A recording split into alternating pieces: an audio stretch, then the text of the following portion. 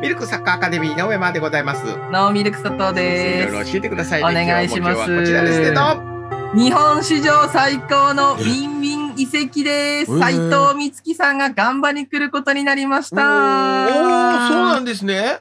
そうなんです。ほうほうほうほうほうえ湘南ベルマーレルビン火山所属だった、えーはいはいはいはい斉藤美月選手が、えーこの度1ごめんなさい月7日ですね。ほお帰りなさいませ。ガンバ大阪に来るうことになりましてということで、はいはいはいはい。まーさん、これでですね、よく見ると下見ていただきたいんですが、はいはい。あの、お互いね、株組織出身の、あの、斎藤美月選手、谷康生選手が、うんある意味、レンタルトレードのような状態になりましたと。うんうんうんうん。ぶっちゃけ。ということで、これがね、はい。日本史上多分ね、歴史、歴代最高のウィンウィン遺跡なんじゃないかってところがあるので、はいはいはい。ちょっとここら辺ちょっと、はい、今日は話していきたいと思います。お願いします。はい。ただまあ、ちょっと何がっていうところに行く前に、はいまあ、さすがにちょっとね、両チームともまあ出てきたってところがあるから、まあ、うんうん来季の陣を見ていきましょうよ。お願いします。まずはじゃあこちらから行きましょう。はいガンバさん、ドンと。はい。はい。えーガンバ大阪さんはですね、ね、この間、矢野選手が。そうなん、矢矢島島選手がね、大宮行ったっていうところがありましたけねど、まあ、これでこのな、この冬かの移籍市場としては、うん。えーまあ、で、センターバック、コン・ギョンウォン選手、そして徳島から福岡翔太選手、うん。あとブラジルからね、えーダーワン選手、中盤の選手がやってきたのと、まあ、岡山っていうか清水っていうか、まあ、石毛選手がやってきて、うん。これで三月選手がやってきてっていう、まあ、5人目の加入といった形に、ははい。なりますと。で、逆にまあ、アウトのところで言ったらね、同じそのコン・ギョンウォン選手が入った左センターバックの位置、まあ、もともとね、きあの、4号選手がいたってところもあるし、あとはまあ、谷選手なり、ヤットさんなりとか、まあ、いろいろいたんですけど、まあ、先日ね、おえー、まさかおっしゃっていただいた通り、矢島選手が大宮行っちゃったりとか、あとは、井出口選手がね、はい。えー、セルティック。はいあの、井出口選手はあの、向こうであの、愚痴と呼んでくれっていう、そんなコメントが載ってましたてま言っ。てましたね。なんか楽しそうになんか映ってましたけどもね。楽しみですね。うんまあ今これね、あの昨年の一応2021年の方の、えー、ある意味ではフォーメーションに習って、まあ一応442にしてあるという形ではありますが、はいはいまあ多分3バックではあるでしょうね、きっとねあ、。そう、このチームそうですか。うん、だとは思います。うん、じゃないいとったなとちょっとメンバー見てもそう思うってこと？そうですね。うんおそらくはね。で、はい。その他でまあ高尾選手とか何人かね、あの、活かしやすいっていうのもあったりするので、おそらくそうなるんじゃないかとはうん。思うよと思うし、そうなんです。はい。あとまあこれで良かったなと思うのは、ついにね、その刈り取り屋さん系がね、井出口さん抜けてどうなるのと思ったけど、はい。斎藤美月さん取れたってのはもう、これ以上のことはないでしょうと。はい。斉藤光樹さんは分かりやすく言うと、その、ばあの、タイプ的な。まあもう、井出口洋介さんと。あ、そうなんですね。そうそうそうそう。そのままで言っていいんじゃないかと思いますけどはいはいはいはいね。っていう形にまあなりましたと。うんまあ、オフェンスのところとかどうすんのかとか、今ね、何人かちょっと不安なところはガンバはね、まだちょっとあるっていうのがあって、あの、ペレイラさんがちゃんと帰ってくるのかってところがまだ不安視されてるのと、あそう。今、そうなんですよ。あと、韓国代表に呼ばれて、あはいのトルコ合宿に行ってる今、その、はい新加入のコン・ギョンウォン選手が実はそのトルコで感染してしまったっていうのがあってそうなんで、すね。だから帯同がいつガンバに来るのかってところがちょっと心配だっていうのが、はい。そうそこら辺はまあありはするんですけど、あ、韓国代表が、そうなんですってこと？そうそうそうそう。そうか。あ、の、やっぱね、あの日本と同じその最終予選とかいろいろありますから、もう合宿してる。そうそうそうそう。う。そういうのもあるのでね、というところではありますねはい。まあ、っていうガンバさんですと。はい。まあ、またね、詳しく、まあ、キャンプ始まらない限り何のフォーメーションやるかも何にもわかりませんから、うん予想することはできてもね。うんそれはまたどっかでやりたいなとうんわ思います。かりました。とにかく入ったってことでね。そうですね。はいえー続いて今度は湘南でございます。はい。はい。そう。湘南はこの冬の移籍市場の王者に近いところがありますからね。そうですか。はい。まずはいゴールキーパーは、あの、谷康生選手のね、うんある意味、レンタル3年目ということが、まあ、はい決定したと。もう湘南のイメージのがね、強くなってきました。強くなってきちゃったけどねはいはいはいで、センター、本籍はガンバ。ガンバですからねうん。で、センターバックは、まあ、福島に行ってた、えー福島隼人選手がついにちゃんと湘南に帰ってきて、今は年やるよということになりましたし、えー鹿島からのね、レンタル延長に成功したというか、僕えー杉岡大輝選手もまたね、湘南で戦いますと。うんで中盤が熱くなった。はい。鹿島から長木亮太。うん。そして名古屋から米本拓はい。がそう。で、高卒、去年高卒ルーキーでね、後半戦めっちゃ出た平岡太陽選手なんかが、そんなね、こう群雄割拠の中盤の中でも一番のスタメンになる、なるんじゃないかとも今言われ、言われてたりしますから、そのあたりも注目株ですし、うんあとは柏レイソルから瀬川祐介選手。はい。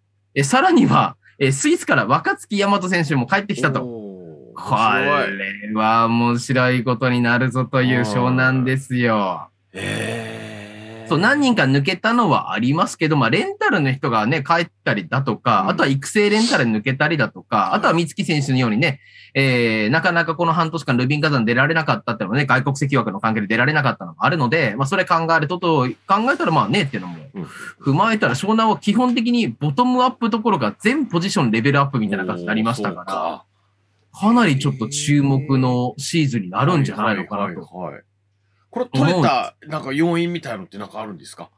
これ何だったんだろうなって、うんちょっと僕これ、あの、どうにかこう解析をしようと思ってで適た。材適所取れたっていうことはね。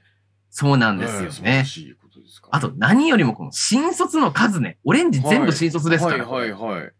合計いっぱい取りました8ね人ぐらい取れたんで、7、8はい人取れましたからね。これもすごいですね。まあ何人かね、多分育成レンタルでここからまたリリース出ると思いますけど、うんまあにしてもすごいメンバー入ってきたなっていう湘南でした。ただそしてね、冒頭で言った通りですよ、まあさん皆さん。あ、そのウィンウィンってやつね。そうなんですよ。はい。これね、ガンバのスタッフの皆さん、そして湘南のスタッフの皆さはい。ん、もう何年先まで見据えてるんだと思って私ちょっと泣いちゃいました。はあ。何かが見えてきた。はい。はい。まあ、湘南で言ったら、まあ、谷選手。はい。そして今回ガンバに加入した斎藤美月選手っていうのは、正正直ね、うんまあさ、皆さん、うん。正直 J で収まる器じゃないね。ああ、海外なんですね。うん、本人たちも言ってるしね。うん。で、海外行くってなると、うん。こんなことが起こる。そして、ということで、いきます。う3、わ2、1、ドン。は二人はおそらく将来的にも海外移籍することあ。になると思います。はいはいはい。で、あの、海外移籍をするときになんですけども、その国際移籍をするような優秀な選手を育てたクラブさうんんに、は、えーそのクラブ、あそこのね、それぞれの選手が、若い時に在籍してたよってクラブに、連帯貢献金というお金が入ることになっておりますそうなん。ですってね。うんはい。だ例えば、あの、10億円で移籍しましたよっていうふうになったら、その5%である、いわゆる1億円の5%っていくら？5000万円。うわー、すごっそうそうそうそう。まあ、いろんなね、あの、いわゆるか計算配分はいろいろあるんですけど、はいはいはい。要はね、まあさん、皆さん、うん。斎藤美月選手は、うん。あ、これ23歳まで所属したクラブなんだけど、まだ美月さんも谷さんも23歳になってないんです。はい。ってことは、将来、美月さんも谷さんも海外で移籍するたびに、湘南にも、はあ。ガンバにもはあ。お金が入ることになるんですね。ねで、これだからいつも湘南さんとしては、ほら、ガンバさんからずっと谷選手借りてきたじゃない。はいはいはい。そう考えると、ある意味それで3年目谷選手をもう一回っていう風になるときにだったら、うんそれ相応ので考えると、まあ、三月さん、ちょうどいいね、入口選手がね、うん。海外移籍したってなるから、一ポジション完全に空いたところにまさにの人が入ってくるってことになるので、ねお互いちょうど足りないところに一番必要なポジションの人が入ってきてくれたっていうのがあるので、今も、今のこのね、2022シーズンに関しては両チームとしてはありがとうと言えるし、うん2023、4、5、6、これから将来10年、15年ですよね、移籍するたびに、チャリンチャリンチャリンチャリンチャリンチャリンって両チームに入ってきますから、はいはいはい。ずっと二人のおかげで潤う両チーム。これ、そういうリストが毎年見たいな。ね。誰の連帯合計金がどこにいくら入りましたみたいなね。いや、そうですね。確かにね。これは両チーム。これはいい制度ですよね。そうですね。ね1年あたりなんだ。12歳から15歳のクラブは0.25。でも3年大体いたわけだから、学校とかだっね。そうそうそうそう。七パーぐらいでしょ？でも、マックスが5%だってところああ、そういうことなのね。そうそうそうそう。で、あったとしても、毎回移籍のたびに入ってくれるんだったら。大動いてくれって思うでしょうね。プレミアリーグで5回ぐらい動いてくれって思うでしょうね。そうなんですよね。